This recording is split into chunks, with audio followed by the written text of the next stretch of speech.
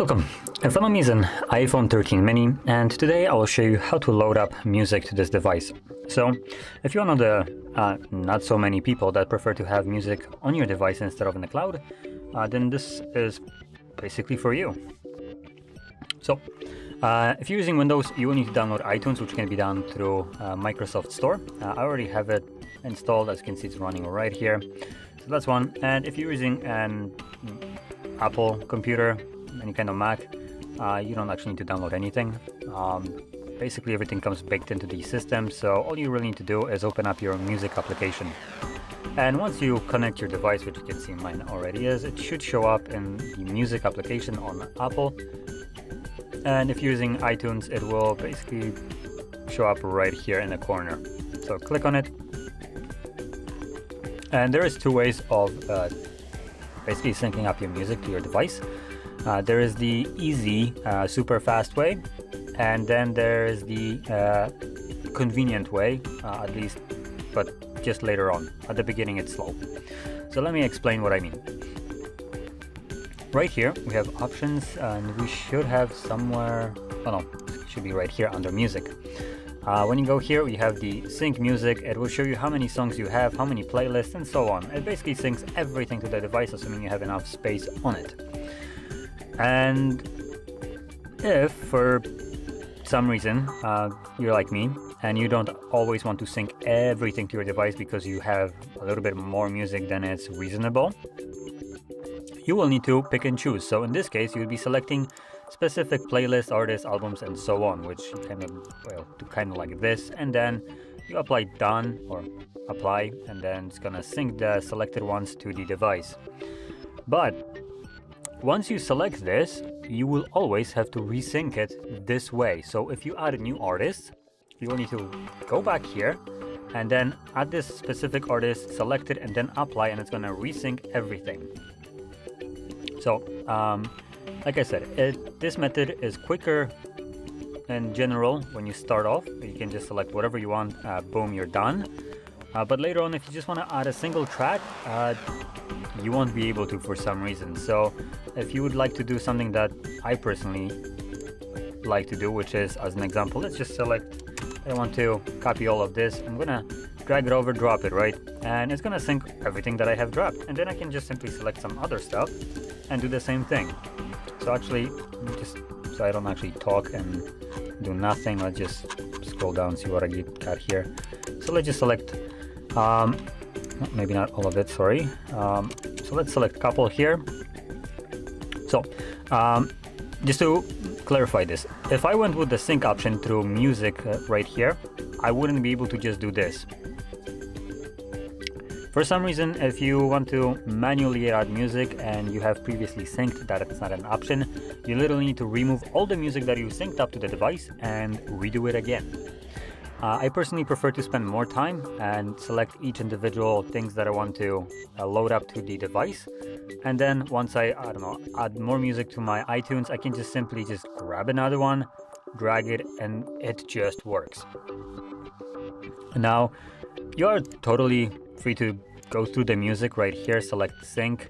But as you can see, um, once you try it right now, it tells you that you need to remove the music that you already dropped into the device super smart device here. Uh, this is supposed to be a, a, quotation mark smartphone, and yet the application that is using it uh, uses it's so limiting. Oh my god.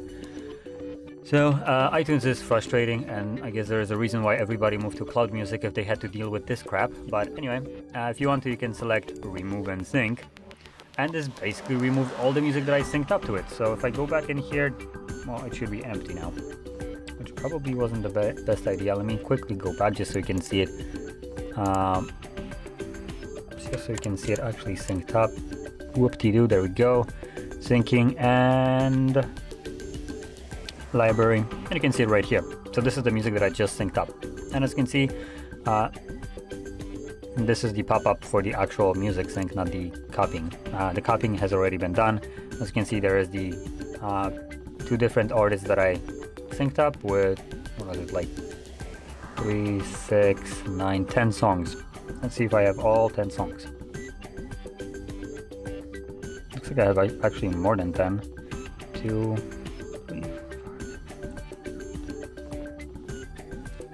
Oh, so this is still the first sync with uh, also these tracks. So didn't actually remove it right now. So anyway, uh, now if I go through this method like I mentioned before, I'm to quickly demonstrate what's to happen. So remove and sync and time limit. Okay. I'm not to select entire library. I'm just to go through playlists. So let's just go whoop-de-doo right here.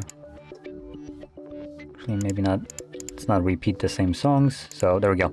I selected three different artists, which I have no idea how many songs that is, but let's select apply. That's apparently 34 songs. And it's finished. So let's open up our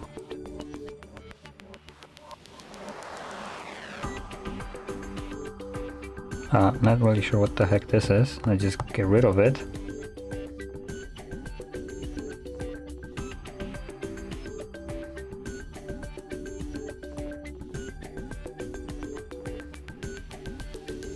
Oh, I know what it is. Someone put a lock on it.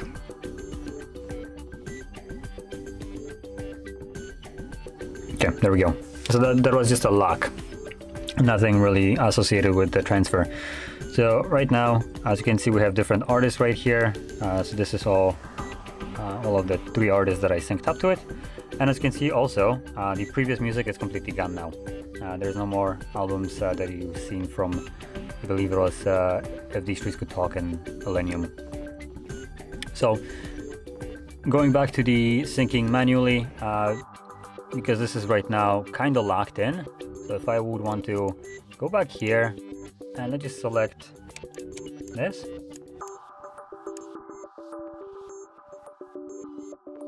Oh no way, they actually changed it.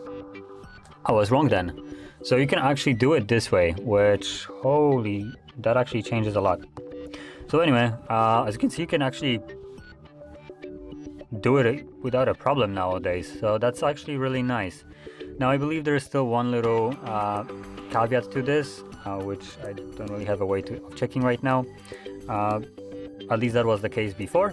When you try to sync music and you did it on your computer, and as an example, you have two computers and you plug it into a different one and you want to, I don't know, copy just a couple music from uh, couple songs from there to your device. Uh, at least it used to be like that. Maybe they changed it as well. Uh, but that would require you to basically remove all your existing music, and you'll be then just able to sync from the uh, new iTunes uh, to your device. So you basically would be locked into a single iTunes on your computer. Uh, but again, uh, like I mentioned, I was wrong about this. it used to be like that, but it can now actually copy the music, so that's really nice. So that could have changed as well.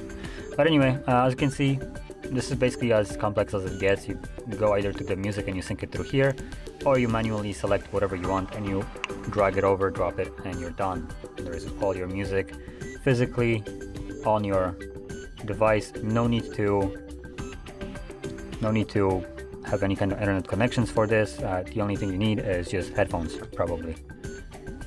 So anyway, if you found this very helpful, don't forget to hit like, subscribe, and thanks for watching.